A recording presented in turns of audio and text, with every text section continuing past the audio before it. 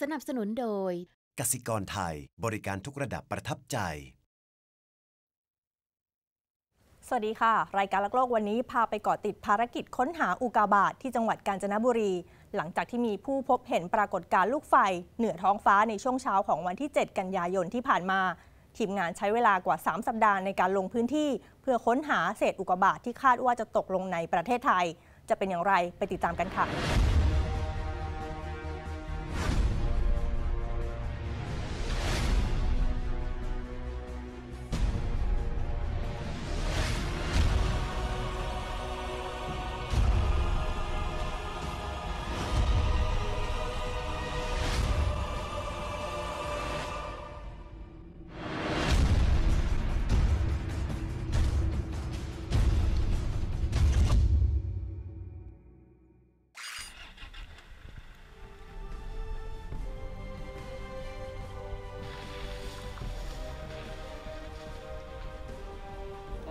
วันแรกของการค้นหาอุกกาบาต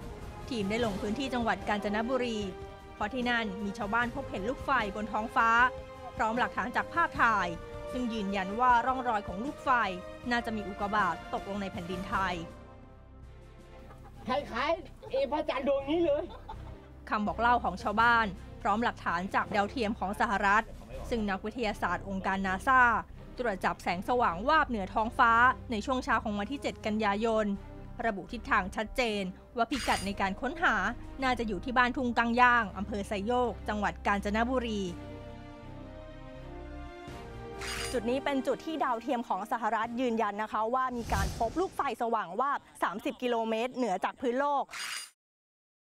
แม้จุดแรกของการค้นหาจากคว้าน้ำเหลว ไม่พบร่องรอยอุกกาบาตแต่ทีมยังคงเดินหน้าค้นหาร่องรอยต่อไป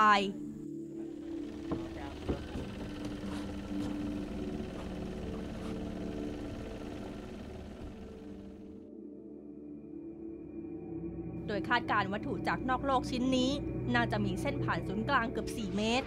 พุ่งมาด้วยความเร็วมากกว่า 75,600 กิโลเมตรต่อชั่วโมง อ๋อ ก็ต้องไป ก็ต้องไป เราสรุปเส้นทางการค้นหาไปที่ตำบลท่ากระดานอำเภอศรีสวัสดิ์ห่างจากตัวเมืองกาญจนบุรี และจุดแรกที่ไม่พบร่องรอย ราว 130 กิโลเมตร ที่บริเวณเขื่อนศรีนครินทร์ ที่นี่คนงานบนแพริมน้ำยืนยันว่าเห็นลูกไฟปรากฏเหนือท้องฟ้า มุ่งหน้าไปทางภูเขาที่อยู่ไกลออกไป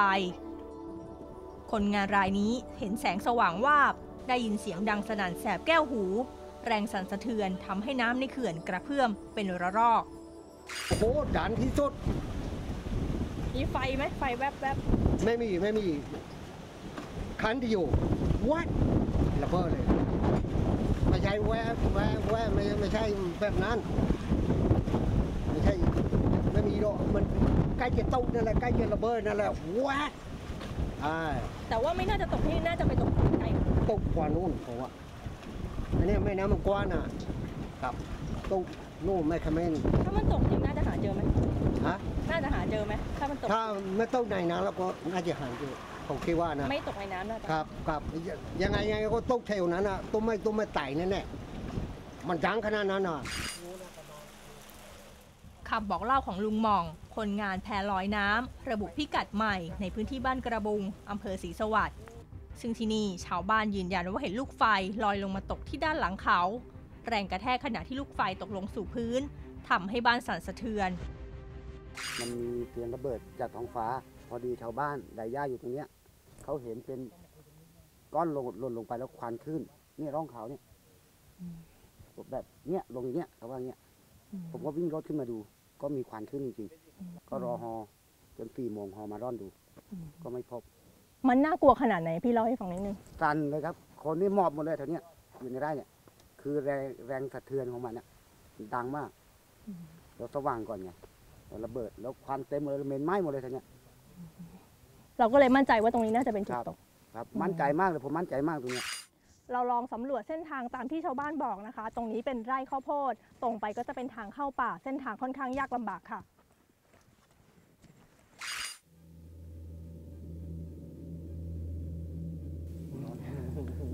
เราต้องผิดหวังอีกครั้งเมื่อเข้าไปตรวจสอบร่องรอยอุกกาบาตในบ้านกระบุง แต่ไม่พบหลักฐานที่ชัดเจน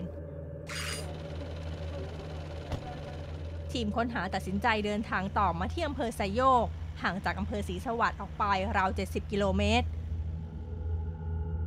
พี่ก็ไม่คิดว่ารูปนี้มันจะได้ที่นี่มีคนถ่ายภาพคอนเทรล หรือไอพ่นขณะที่อุกกาบาตแหวกอากาศ ในมุมที่แตกต่างกันออกไป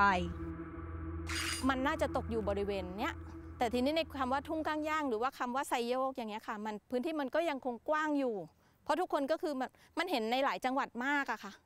กรุงเทพเห็นนครอานครราชสีมาเห็น หลาย ๆ จังหวัดเขาก็เห็นแบบที่เราเห็นนะคะ เพียงแต่ว่าของเขาเห็นเขาจะเห็นเป็นเป็นสายยาวๆ หรือว่าเป็นเป็นลักษณะเป็นลูกไฟที่มาระเบิดกลางอากาศ แต่ของเราเนี่ยเราจะไม่ได้เห็นลักษณะของลูกไฟที่มันวิ่งมา แต่เราจะเห็นว่าอะไรก็ไม่รู้มันเป็นกลุ่มควันมันระเบิดอยู่บนหัวเรา เราจะเห็นแตกต่างจากที่อื่น ภาพถ่ายคอนเทรลที่มีพระจันทร์อยู่ในภาพ ช่วยยืนยันจุดที่อุกกาบาตตกได้ชัดเจนขึ้น เมื่อนำภาพที่ถ่ายได้นับสิบภาพ ทั้งภาพนิ่งและคลิปวิดีโอมาประมวลผล เพื่อวิเคราะห์หาพิกัดใหม่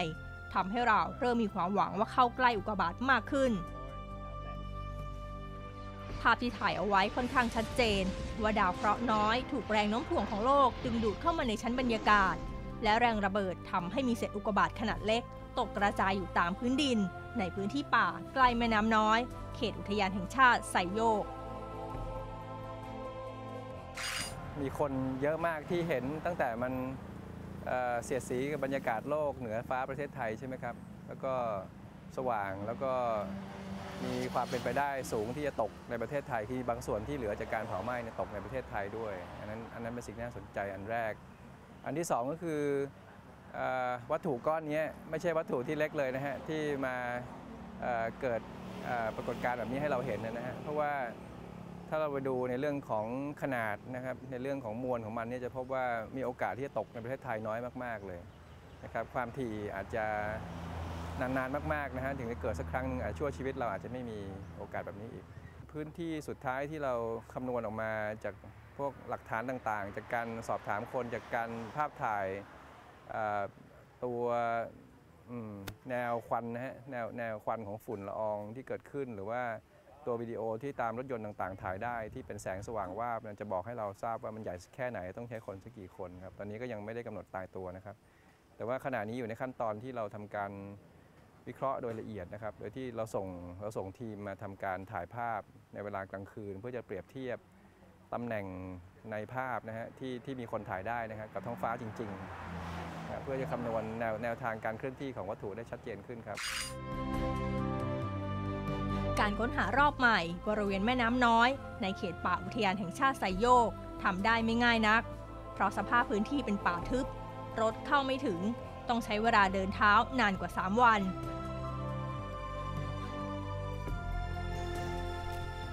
ทีมค้นหาต้องวิเคราะห์และวางแผนการเดินทาง โดยตีกรอบจุดที่คาดว่าจะพบอุกกาบาตตก ให้แคบลงมากที่สุด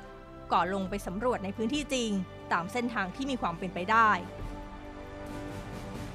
ถ้าดูจากข้อมูลเก่าๆ หรือจากทางนาซาเกิดไปทิศตะวันตกนะครับนะแต่ถ้าเราดูจากคอนเทนหรือไอ้ตัวเมฆขาวๆเนี่ยนะไอ้สายขาวๆเนี่ยมันพุ่งมาที่เราตามมา มันก็ตั้งแต่ไซโยกแล้วมันก็ระบุมาอยู่แล้วว่าทิศนี้โดยตลอดนะครับประมาณทิศ300ตะวันตกเฉียงเหนือเล็กน้อยนะฮะนะก็คือว่าจากจุดเนี้ยนะครับว่ามันจะไปแยกไปทางไหน เราก็เลยตั้งพื้นที่เป้าหมายก็คือว่าตรงนั้นนะฮะปากแม่น้ำน้อยอะมันจะมีแยกเป็นสองแยก คือแม่น้ำมันแม่น้ำมารวมกันเนี่ยนะน้ำแม่น้ำน้อยมันมีสองสาย สายหนึ่งเขาเรียกว่าชาวบ้านเรียกว่าน้ำเลาะคือไปทางทิศไปทิศตะวันตก และอีกอันคือแยกขึ้นมาทางเหนือยังเรียกแม่น้ำน้อยเหมือนเดิม คราวนี้ตรงพื้นที่ระหว่างสองสองสายแปรนั่นนะฮะสายสายแม่น้ำเล็กๆนั่นน่ะเนี่ยมันน่าจะเป็นพื้นที่ตก แต่ปรากฏว่าพอเราไปถึงตรงตรงสามตรงที่แปรมาชนกันตรงนั้นน่ะนะครับ แล้วก็ไปคุยกับชาวบ้านแถวนั้นเขาเห็นว่าหลังจากการระเบิดแล้วเนี่ยมันมีอ่า ไอ้พวยแก๊สขาวๆเนี่ยฮะคอนเทลเนี่ยพุ่งเฉียงมา 45 องศา ก็ตรงตามที่นาซาบอกว่ามุมที่ตกมา 45 องศา แต่ว่าชาวบ้านที่นั่นยืนยันว่ามันมาทางที่ตะวันตกเฉียงเหนือ คือตามแม่น้ำแม่น้ำน้อยสายหลักนะครับนะแล้วก็มีคนเห็นลูกไฟนะฮะคือคือมันไม่จบแค่ข้างบน มันยังวิ่งลงมาข้างล่าง เราก็เลยตามตามทางนั้นมาตะวันตกเฉียงเหนือจนกระทั่งมาตรงเนี้ยป่าแถวเนี้ยคือบริเวณต้นของแม่น้ำน้อยนะครับ ตรงนี้ก็เลยมาพบกับน้องอเจ้าหน้าที่อุทยานนะครับ ว่าเขาก็เห็นเหมือนกันว่ามันมีวันขาวๆนี้แล้วก็มันมีว่าหน้าผาตรงแม่น้ำที่มันคดเนี่ยนะครับแล้วมันหันไปทางทิศทิศตะวันออกพอดีตรงนั้นอะมันมีหินถล่มหน้าผาถล่มเนี่ยแต่ว่ามันถล่มเพราะฝนตกมาดินถล่มหรือนะมันถล่มเพราะอุกกาบาตมันชน แล้วมันยังมีซากดินกองอยู่เนี่ย มันก็ต้องตามไปพิสูจน์ ผลจากการวิเคราะห์หลักฐานทางวิทยาศาสตร์ และลงพื้นที่สำรวจภาคพื้นดินทำให้มั่นใจว่าวัตถุจากท้องฟ้าชิ้นนี้ พุ่งมาอยังโลกจากทิศตะวันออก มุ่งหน้าไปทางทิศตะวันตก เหนือเขื่อนศรีนครินทร์และเสียดสีกับชั้นบรรยากาศ จนเกิดแรงระเบิดเหนือยอดเขามาตั้งสู้ บริเวณทุ่งก้างย่าง ก่อนที่จะแตกออกเป็น 2 ชิ้น ขนาดมากกว่า 1 เมตร โดยชิ้นแรกตกลงในพื้นที่ป่า บริเวณภูเขาที่สูงที่สุดในจังหวัดกาญจนบุรี ด้านหลังบ้านกระบุงอำเภอศรีสวัสดิ์ส่วนชิ้นที่ 2 คาดว่าจะข้ามไปตกบริเวณแม่น้ำน้อยอำเภอไซโยก สิ่งที่เราทำขณะนี้ก็คือพยายามจะวิเคราะห์ในรายละเอียดนะฮะ อันนี้ร่วมมือกับนาซานะครับ เพื่อจะได้ทราบชัดเจนยิ่งขึ้นว่าในบริเวณไหนที่มีโอกาสตกมากที่สุดเพื่อจะเข้าไปค้นหา นะครับเพราะว่าถ้าบุ่มบ่ามเข้าไปก็โอกาสเจอน้อยมากนะครับ เหมือนพอๆกับงมเข็มในมหาสมุทรครับภารกิจค้นหาอุกกาบาตครั้งนี้จะสำเร็จหรือไม่ อะไรคือคำตอบที่ทีมค้นหาต้องการ ช่วงหน้ากลับมาดูกันต่อค่ะ ในส่วนที่นักธรณีสนใจเนี่ยเราสนใจเกี่ยวกับหินกับแร่ เราสนใจว่าอุกกาบาตเป็น หินส่วนที่เกิดในช่วงที่กำเนิดโลกใหม่ ๆนะครับ เราต้องเดินเท้าเข้ามาพิสูจน์มันไม่มีทางอื่นนะครับ ที่จริงถ้าจะให้ work อะนะ ต้องเอาฮ. บินรอบๆนะฮะหรือเครื่องบินบินบนแล้วก็ถ่ายรูปถ่ายรูปแล้วก็ดูว่าตรงไหนมันเป็นพื้นที่ที่มีไฟไหม้อย่างที่อาจารย์ปริญญาบอกเนี่ยแล้วเราก็ดูว่าตรงนี้มันเป็นความเป็นไปได้มีพื้นที่มีไฟ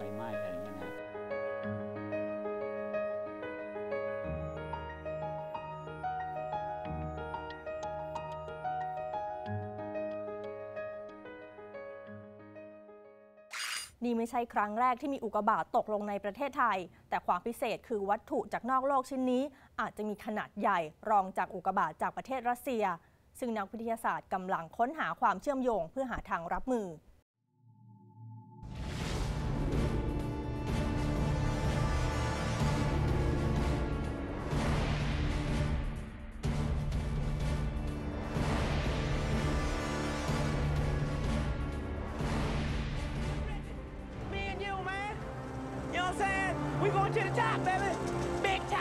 ภาพดาวหางขนาดมหึมาที่มุ่งหน้าพุ่งชนโลก จากภาพยนตร์เรื่องอมาเกดอน ไม่ต่างจากภาพยนตร์เรื่อง Deep Impact ที่มนุษย์ต้องการเอาชีวิตรอดจากภัยพิบัติที่คาดไม่ถึง just asked us to save the world. We're talking เป็นจินตนาการจากผู้สร้างหนังที่ตั้งใจถ่ายทอดเรื่องราวหายนะที่มาจากนอกโลก จินตนาการในภาพยนตร์ ส่วนหนึ่งถูกสร้างมาจากเรื่องจริง เพื่อเตือนมนุษยชาติ Everything that can be done to wage this terrible battle is being called into service. May we all see these events through with the อุกกาบาตแต่ละก้อนจึงนับเป็นข้อมูลที่เพิ่มมากขึ้นสำหรับการศึกษาวิจัยภัยพิบัติจากดาวเคราะห์น้อย หรือดาวหางพุ่งชน ซึ่งครั้งหนึ่งอุกกาบาตลูกใหญ่ที่พุ่งตรงมายังโลก เป็นสาเหตุที่ทำให้ไดโนเสาร์สูญพันธุ์เอ่อ ตั้งแต่ยุค 65 ล้านปีที่แล้วมาก็ยังไม่เคยเกิดอีกเลยนะครับ แล้วโดยจากการศึกษาเนี่ยพบว่าความถี่ของวัตถุใหญ่ขนาดที่ทำให้ไดโนเสาร์สูญพันธุ์จะมีทุกๆประมาณสัก100 ล้านปี นักดาราศาสตร์ปัจจุบันยังไม่พบว่าในช่วงอีก 2-300 ปี ข้างหน้าจะมีวัตถุใหญ่ขนาดนั้นมาชนนะครับ ในเรื่องของความถี่เนี่ยอาจจะมีแค่ประมาณปีละหนึ่งครั้งเท่านั้นเอง แล้วก็อย่าลืมว่า 3 ใน4เนี่ยของพื้นที่โลกก็เป็นมหาสมุทร นะครับ เพราะฉะนั้นจริง ๆ แล้วโอกาสที่จะเกิดการตกลงมาบนพื้น มีการจับภาพได้ตั้งแต่เคลื่อนที่ไปในอากาศด้วยความเร็วสูง แล้วก็จนกระทั่งถึงการเก็บได้เนี่ยเป็นไปได้ยากมากนับแต่รัสเซียซึ่งเกิดขึ้นเมื่อกว่า 2 ปีที่แล้วก็มีครั้งนี้เป็นครั้งแรกที่ที่ใหญ่ที่สุดที่ที่เห็นที่เห็นกันนะครับลมมันพัดไปทางไหนการค้นหาชิ้นส่วนอุกกาบาตที่ตกมายังโลก จึงไม่ใช่เรื่องเหลวไหล หากจะนำไปสู่การคำนวณหาวงโคจรของวัตถุบนท้องฟ้า ที่อาจทำอันตรายต่อโลกได้ จากการที่มีการถ่ายภาพวิดีโอได้เยอะเนี่ยนะครับ แล้วก็มีดาวเทียมที่จับทิศทางได้เนี่ยมันนำไปสู่การคำนวณของเรื่องของวงโคจรของวัตถุที่อาจจะทำอันตรายต่อโลกนะครับนะครับ มันก็เป็นข้อมูลที่เพิ่มมากขึ้นสำหรับการศึกษาวิจัยในเรื่องของภัยพิบัติที่จะมาจาก การที่จะมีอย่างอุกกาบาตหรือมีดาวเคราะห์น้อยหรือว่ามีดาวหางมาพุ่งชนนะฮะอันนี้เป็นเรื่องอีกเรื่องใหญ่ที่สำคัญมากนะครับเพราะฉะนั้นการค้นหานี่ก็จะทำให้เราทราบว่ามันเป็นถ้ามีอุกกาบาตตกที่ที่บริเวณในเขตอำเภอไซโยกเนี่ยนะครับจากไอ้วัตถุก้อนนี้มันเป็นอุกกาบาตแบบไหน เพราะมันจะบอกที่มาได้ แล้วก็วงโคจรจะช่วยให้เราเข้าใจดียิ่งขึ้นนะครับ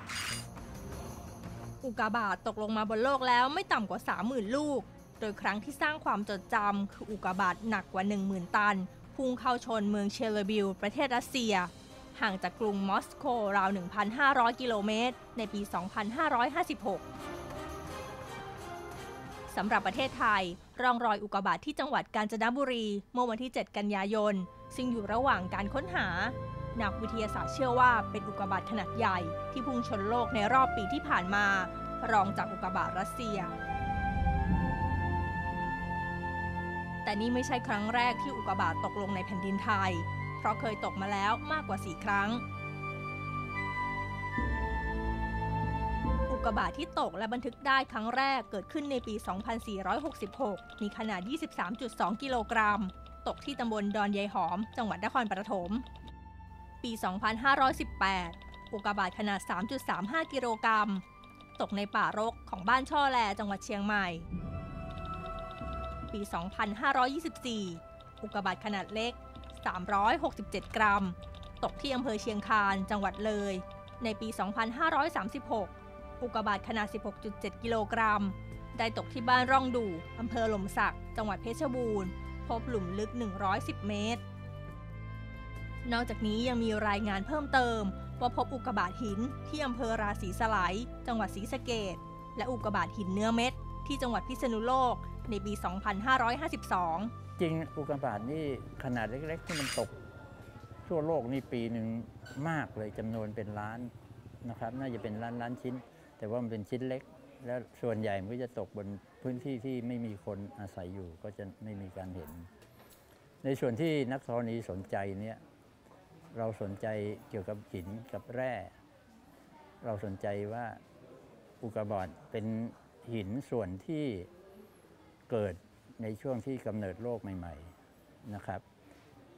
ก็อายุของโลกเราที่จริงแล้ว 4,600 ล้านปีเนี่ยเราได้จากอายุของอุกกาบาตนะครับ ที่เราสนใจส่วนใหญ่ก็จะเป็นเกี่ยวกับเรื่ององค์ประกอบของมันเนื้อหินเป็นไงเทียบกับโลกแล้วเป็นไง เรามีโอกาสที่มันเป็นคุณค่าทางเศรษฐกิจในแง่ของแร่เศรษฐกิจหรือไม่ นะครับ จริงๆแล้วมันก็ตกมาไม่มากพอที่จะทำเหมืองนะครับ แต่ก็มีเหมืองแร่ที่ในแคนาดาหรือในอเมริกานะครับที่ อาจจะเป็นในผมไม่แน่ใจว่าแคนาดาหรืออเมริกาเนี่ยเขาคิดว่านิกเกิลบริเวณนั้นน่าจะเกิดจากอุกกาบาตขนาดใหญ่ที่ชนโลกเพราะนิกเกิลในในพวกอุกกาบาตนี่มันค่อนข้างจะเยอะนะครับ อันนี้ก็คือส่วนที่เราสนใจ นักวิทยาศาสตร์เชื่อว่าอุกกาบาตที่ตกในพื้นที่จังหวัดกาญจนบุรี น่าจะเป็นอุกกาบาตหิน เศษซากที่หลงเหลือจากการกำเนิดระบบสุริยะ เช่นเดียวกับอุกกาบาตร้อยละ 86 ที่ตกลงมายังโลก ลักษณะทางธรณีของอุกกาบาตที่แตกต่างไปจากหินบนโลก เพราะไม่ได้ผ่านกระบวนการทับถมทางธรณีวิทยามาก่อนทำให้สามารถตรวจสอบได้ง่าย อันนี้เป็นอุกกาบาตที่ตกในประเทศไทยนะครับที่ที่อำเภอเชียงคานหลายปีก่อนนะครับเเป็นอุกกาบาตซึ่งมีมีมากนะครับเเราพบว่ามากกว่า 80%ของอุกกาบาตที่ตกบนโลกเนี่ยเป็นแบบแบบนี้นะฮะคือแบบหินนะฮะนะครับ วิธีดูอันแรกดูด้วยสายตาก่อนจะเห็นว่าผิวนอกมันดำเนื่องจากการเผาไหม้ในบรรยากาศโลกนะครับ แต่ว่าข้างในมันเมื่อแตกออกมาเนี่ยมันไม่ดำนะฮะ อันนี้ก็ชัดเจนว่ามันต้องผ่านผ่านกระบวนการทางความร้อน แต่ว่ามันเป็นความร้อนที่เกิดจากการเสียดสีหรือเปล่านะครับ มันมีอีกอันหนึงที่ที่เห็นชัดในก้อนนี้ก็คือ รอยที่เกิดเป็นรอยแตกเห็นไหมฮะมันจะมีรอยแตก อันนี้เกิดจากการที่ตอนที่มันร้อนจัดแล้วมันมีการหดตัวผิวผิวที่มันเกิดถูกความร้อนเนี่ยมันการหดตัวทำให้เกิดรอยแตกขึ้นนะครับ ต่อมาก็คือพวกอุกกาบาตแม้กระทั่งอุกกาบาตหินเนี่ย มักจะมีเหล็กเป็นองค์ประกอบอยู่พอสมควรนะฮะซึ่งอันนี้ผมไม่แน่ใจในเรื่องในเรื่องปริมาณเหล็กนะครับ แต่ว่าแม้ว่ามันมีตั้งแต่ประมาณ 10กว่าเปอร์เซ็นต์ขึ้นไปนะฮะเราก็สามารถใช้แม่เหล็กเนี่ยดูดได้ เพราะมันไม่ใช่ออกไซด์นะฮะนะครับ อันนี้เป็นแม่เหล็กนะฮะกลมๆนี่คือแม่เหล็กไม่ใช่ไม่ใช่ก้อนอุกกาบาตนะครับจะเห็นว่าแม่เหล็กเนี่ยดูดติดได้ ติดได้ไม่ยากคือต่างจากก้อนหินทั่วไปเพราะใช่มีโลหะผสม แต่ว่าไม่ได้หมายความว่าก้อนหินที่แม่เหล็กดูดจะเป็นอุกกาบาตทุกก้อนนะครับ ก็มีหินบางบางประเภทในโลกที่ที่แม่เหล็กดูดติดได้เหมือนกันนะครับแต่หลังจากจากหลาย ๆ อย่างประกอบกันไม่ว่าจะเป็นผิวดำที่มีอาจจะมีรอยเหมือนนิ้วมือกดแล้วถ้าเป็นก้อนใหญ่นะครับ หรือมีรอยรอยแตก มีผิวสีดำอันนี้พอบอกได้แล้วนะครับ แต่ว่าถ้าเกิดต้องการ confirm ร้อยเปอร์เซ็นต์เนี่ยเราใช้กล้องจุลทรรศน์หรือกล้องจุลทรรศน์อิเล็กตรอนเราจะรู้เรื่ององค์ประกอบทางเคมีด้วย การค้นหาเพื่อไขปริศนาอุกกาบาตนอกโลก จึงเป็นภารกิจที่ต้องเดินหน้าต่อไปก้อนนี้มันคุยยาวอาจารย์คุยตรงนี้ก่อนแล้วค่อยมาตรงนี้ดีป่ะดีค่ะไปไปทำครั้งนี้เราได้วางแผนเดินเท้าเข้าพื้นที่ป่า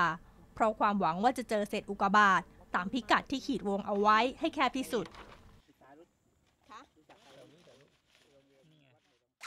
นี่เป็นครั้งแรกที่ทีมสำรวจตัดสินใจเดินเท้าเข้าพื้นที่ป่าเพื่อค้นหาอุกกาบาตนะคะ จุดหมายของเราอาจจะต้องขึ้นไปบนที่สูง เพื่อที่จะมองเห็นวิวโดยรอบ จุดที่น่าสงสัยอยู่ตรงไหนไปดูกันค่ะ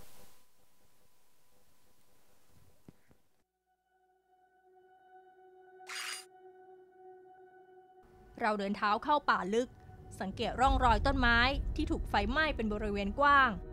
คราบดินที่เกาะบนใบไม้ ซึ่งเกิดจากแรงกระแทกของอุกกาบาต ไปพร้อมกับการวิเคราะห์ข้อมูลจากภาพถ่ายดาวเทียม และภาพถ่ายทางอากาศ เพื่อยืนยันจุดตกที่ถูกต้อง ทีมใช้เวลาค้นหาด้วยการเดินเท้าในพื้นที่ป่านานหลายชั่วโมง แต่การค้นหาครั้งนี้มีอุปสรรคจากหน้าผาที่สูงชันทำให้แม้จะขีดวงให้แคบลงเหลือเพียง 12 ตารางกิโลเมตร แต่ก็ยังไม่สามารถค้นพบเศษอุกกาบาตในความเป็นจริงอะ ข้อมูลที่เขาให้มาเป็นข้อมูลที่หยาบมากนะทศนิยมของอุตสาหก็ให้มาตำแหน่งเดียวนะครับ นี่ก็เป็นหน้าที่ของเราชาวไทยต้องพิสูจน์มันอยู่ตรงไหนเราต้องเดินเท้าเข้ามาพิสูจน์มันไม่มีทางอื่นนะครับ ที่จริงถ้าจะให้ work นะต้องเอาฮ. บินรอบๆนะฮะหรือเครื่องบินบินบน แล้วก็ถ่ายรูปถ่ายรูปแล้วก็ดูว่าตรงไหนมันเป็นพื้นที่ที่มีไฟไหม้อย่างที่อาจารย์ปริญญาบอกเนี่ย แล้วเราก็ดูว่าตรงนี้มันเป็นความเป็นไปได้มีพื้นที่มีไฟไหม้อะไรเงี้ยนะสีน้ำตาลเนี่ยแล้วเราก็มาประกอบแผนที่ว่าเราจะเดินเข้าเส้นไหนในการสำรวจไงแต่ถ้าเราไม่มีการสนับสนุนจาก